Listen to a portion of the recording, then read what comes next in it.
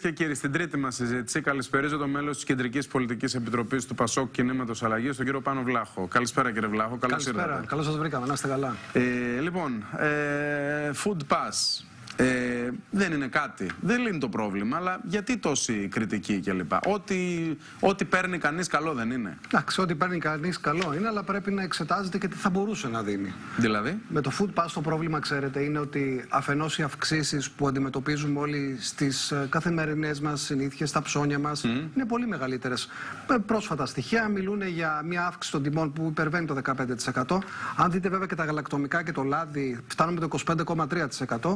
Αντιλαμβάνεστε λοιπόν ότι η αύξηση αυτή δεν ανταποκρίνεται στις πραγματικές αυξήσεις της αγοράς. Το δεύτερο είναι ότι κάποια στιγμή πρέπει να αποφασίσουμε σε αυτόν τον τόπο πώς κάνουμε αναδιανεμητική πολιτική ή προστατεύουμε τα πιο ασθενή εισοδηματικά στρώματα. Αυτό που κάνει η κυβέρνηση είναι να εθίζει τον κόσμο στα επιδόματα. Είναι μια ψηφιακή ελεημοσύνη στην πραγματικότητα, η οποία ναι, μπορεί να ανακουφίζει πρόσχερα σε ένα πολύ μικρό ποσοστό των εξόδων που έχουμε, ναι. αλλά δεν κάνει αυτά που θα μπορούσε να κάνει για να απονείμει φορολογική δικαιοσύνη, για παράδειγμα. Εγώ ακούω πάντως τα παίρνουμε, λένε, από τα δηληστήρια και ναι. τα δίνουμε στους φτωχούς. Κοιτάξτε τώρα τι κάνουν. Είναι καταρχήν πολιτικά. Εμείς, ναι. σοσιαλδημοκράτες, πιστεύουμε στην αναδιανομή. Όταν έχεις μια τέτοια κοινωνική κρίση, πρέπει να φορολογήσεις το κεφάλαιο για να μπορέσεις να αναδιανύμει ένα πολύ μεγάλο κομμάτι της φορολογίας στους ανθρώπους που έχουν ανάγκη. Ένας τρόπος να το κάνεις είναι να μειώσεις τον φόρο προστιθέμενης αξίας. Ή να επιβάλλεις φόρο στα υπερκέρδη των δηληστηρίων και των εταιριών ενέργειας. Ναι. Γελάει ο κόσμος, γιατί ξέρετε, αυτό που δίνουν τελικά ούτε ως μέτρο κοινωνικής εταιρικής ευθύνης δεν θα μπορούσε να είναι μιας πετρελαϊκής εταιρείας. Αν δείτε δε την Επιτροπή Ανταγωνισμού και την έκθεση που έβγαλε πριν περίπου 15 μέρες και δείτε τα κέρδη που έχουν τα ειδηλιστήρια στην Ελλάδα, τότε μόνο να γελάσει μπορεί κανείς με αυτά τα μέτρα. Και είναι παράλογο που το υπερασπίζονται με αυτόν τον τρόπο, γιατί την ίδια στιγμή που λένε στον κόσμο ότι πρέπει να μειώσει την κατανάλωση ρεύματος, ότι πρέπει να είναι εγκρατής, ότι υπάρχει το καλάθι νοικοκυριού, την ίδια στιγμή καταργούν όλα αυτά τα μέτρα, mm -hmm. πηγαίνοντας πάλι σε ένα επιδοματικό μέτρο. Αν πίστευαν πραγματικά, για παράδειγμα, στο καλάθι του νοικοκυριού και απέδιδε στην πραγματικότητα, mm -hmm. τότε προφανώς δεν θα είχαμε ανάγκη κανένα τέτοιο επίδομα. Τώρα, ε, ένα σχόλιο για, την, ε, για τον τρόπο με τον οποίο προειδοποίησε ο κύριος Ντογιάκος μέσα ενημέρωσης που ασκούν κριτική στη δικαιοσύνη για τους ρυθμούς διερεύνησης, διερεύνησης δεν ξέρω, ε, του σκανδάλου των υποκλοπών. Εντάξει, την α, διάκριση των εξουσιών πρέπει να τη σεβόμαστε όλοι και η δικαιοσύνη, όπως γνωρίζετε, στις φιλελεύθερες δημοκρατίες υπόκειται σε κριτική. Ε, είναι ένα ζήτημα για το οποίο θα περιμένουμε και από την κυβέρνηση κάποιες απαντήσεις. Και σίγουρα όλα αυτά δεν βοηθούν στο να διαλευκανθεί το ταχύτερο δυνατόν μια υπόθεση η οποία ταλανίζει την πολιτική και κοινωνική ζωή. Mm -hmm. Αντιλαμβανόμαστε και το έχουμε ξαναπεί και εδώ πολλές φορές ότι δεν είναι προτεραιότητα των πολιτών αυτή τη στιγμή οι παρακολουθήσεις ή η ταχεία απονομή δικαιοσύνης, αλλά σίγουρα δίνει τον τόνο για το πολιτικό περιβάλλον μέσα στο οποίο κινούμαστε και για το επίπεδο και το ηθικό διακυβέρνησης, το ήθος διακυβέρνησης που έχει συγκεκριμένη κυβέρνηση. Εμά, για εμάς η δικαιοσύνη πρέπει να κινηθεί ταχύτερα, να περισσεύουν τα πολλά σχόλια και να κάνουν αυτό που πρέπει. Γρήγορη διερεύνηση και να έρθουν όλα στο φως για να μάθουμε τι ακριβώς συνέβη στον τόπο και για ποιο λόγο ένας πολιτικός αρχηγός και δημοσιογράφοι και άλλα επίλεκτα μέλη της κοινωνικής και οικονομικής ζωής έγιναν αντικείμενο παρακολούθησης. Ε, κύριε Βλάχο, άκουσα τις τελευταίες μέρες τον κύριο Ανδρουλάκη ε, να λέει στην Κεντρική Επιτροπή του κόμματός σας ότι στόχος σας είναι να στείλετε τη Νέα Δημοκρατία στην αντιπολίτευση και να λέει προχθές ενώπιον της κοινοβουλευτικής σας ομάδας ότι όσο μένει ο κύριος Τσίπρας και ο ΣΥΡΙΖΑ στην αξιωματική αντιπολίτευση, τόσο θα κυβερνά ο κύριος Μητσοτάκης. Αυτά τα δύο ε, τουλάχιστον στο μέτρο που δεν μας έχετε πει ότι έχετε θέσει ως στόχο να κόψει το Πασόκ πρώτο το νήμα των εκλογών. Πώς ε, συντεριάζουν; Αυτή η θέση ουσιαστικά συνοψίζει τη φιλοδοξία μας να είμαστε ε, εμείς το κόμμα το οποίο θα ανατρέψει τους πολιτικούς συσχετισμούς.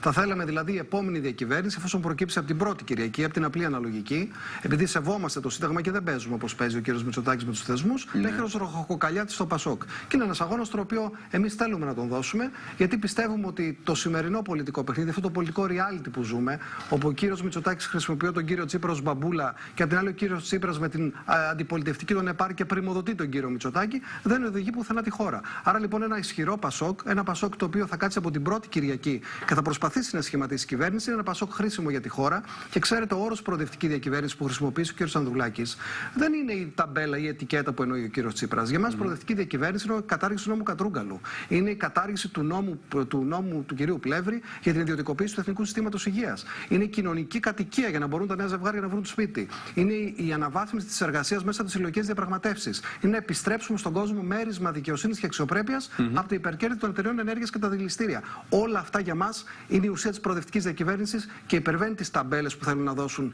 οι μεν καλώντας μας σε μια κύβδηλη προοδευτική διακυβέρνηση, αλλά και οι άλλοι, οι οποίοι μέσα στον πανικό τους έφτασαν στο σημείο να μας αποκαλούν σοσιαλκαμένους όταν μαζί καταψήφιζαν το μνημόνιο που προσπαθούσε τότε ο, ο Γιώργος Παπανδρέου χρησιμοποιώντας το να σώσει τη χώρα σε μια πάρα πολύ δύσκολη περίοδο. Είναι ντροπή για τη Νέα Δημοκρατία και τον Πρωθυπουργό να χρησιμοποιούν τέτοιες εκφράσεις. Είναι προέρχονται από την ίδια μήτρα με την ακροδεξιά και θα έπρεπε να είναι πολύ πιο προσεκτικοί για το επίπεδο της πολιτικής αντιπαράθεσης το οποίο θα έχουμε μπροστά μας στο δρόμο για τις εκλογές. Ε, ωστόσο, ε, τι από τα δύο είναι μεγαλύτερη προτεραιότητα λοιπόν για το κόμμα σας, ε, Γιατί και τα δύο, επαναλαμβάνω, δύσκολο να γίνουν. Να, να, να εκφρονιστεί εντός εισαγωγικών ο κύριος Τσίπρας από την αξιωματική αντιπολίτευση ε, ή να φύγει από την. ή να γυρίσει στην αντιπολίτευση η Νέα Δημοκρατία. Ο κόσμος ψηφίζει για κυβέρνηση. Και όταν ψηφίζει για κυβέρνηση. Γι' αυτό σας λέω, γιατί όταν λέτε και τα δύο, κάποιοι θα σας κατηγορήσουν ότι ψαρεύετε σε θολά νερά. Όχι, και τα δύο συμβιβάζονται όταν θέλεις να δεις το κόμμα σου ψηλά και να είναι αυτό σε θέση να επιλέξει κυβερνητικό εταίρο. Εμείς θέλουμε να είμαστε, αν είναι δυνατόν, δεύτερο κόμμα. Ε, θέλουμε να είναι ψηλά το Πασό και να μπορέσει να αλλάξει τα πράγματα. Τώρα, ότι καλούμε προοδευτικές δυνάμεις μέσα από την κοινωνία να ναι. συμπράξουν μαζί μας είναι μια πραγματικότητα. Αλλά εμείς δεν θα κάνουμε συμφωνίες που θα κρατήσουν τον κύριο Μητσοτάκη στην Πρωθυπουργία ή θα επαναφέρουν τον κύριο Τσίπρα. Εάν θέλουμε πραγματικά να δούμε μια αλλαγή πολιτική στον τόπο και οι δύο αυτές ε, ηγετικές φυσιογνωμίες της αριστεράς και της δεξιάς για μας πρέπει να αποτελέσουν παρελθόν και να δούμε από εκεί και πέρα πώς το Πασόκ μπορεί να αλλάξει την πορεία του τόπου, καλώντας και άλλες πολιτικές δυνάμεις να συμπράξουν. Και φαντάζομαι αυτή είναι η απάντησή σας στο ερώτημα, αν είναι πρώτος ο κύριος Μητσοτάκης, πώς είναι δυνατόν, αφού λέτε να, να να συμβάλλετε στην ε, συγκρότηση κυβέρνηση από την πρώτη Κυριακή. Ε, αυτή είναι η απάντηση στο πώς είναι δυνατόν να κάτσετε στο ίδιο τραπέζι με τον άνθρωπο που ο κ. Ανδρουλάκης κατηγορεί ότι τον παρακολουθεί και εσεί σκοτίζει το να μάθουμε ποιος τον παρακολούθησε. Γι' αυτό σας λέω ούτε Μητσοτάκης ούτε Τσίπρας. Ο κ. Mm Μητσοτάκης εξάλλου με τα έργα και τις ημέρες του απέχει πλέον πάρα πολύ από οποιαδήποτε πολιτική ή προγραμματική συζήτηση. Ο δρόμος τον οποίο έχει επιλέξει είναι ένας δρόμος ο οποίος συσκοτίζει, συγκαλύπτει, δηλητηριάζει την πολιτική ζωή, κακοποιεί τους θεσμούς και μεγαλώνει τις κοινωνικές ανισότητες. Διαρριγνύει τον ιστό που κρατάει ενωμένη την ελληνική κοινωνία σε μια πάρα πολύ δύσκολη περίοδο, δίνοντας πολλά στους λίγους και ψίχουλα στους πολλούς. Κύριε Βλάχο, κλείνοντας, ε, βλέπετε τις διαρκείς αποκαλύψεις που αφορούν και την κυρία Καηλή στο πλαίσιο αυτού που λέμε ε, Qatar Gate.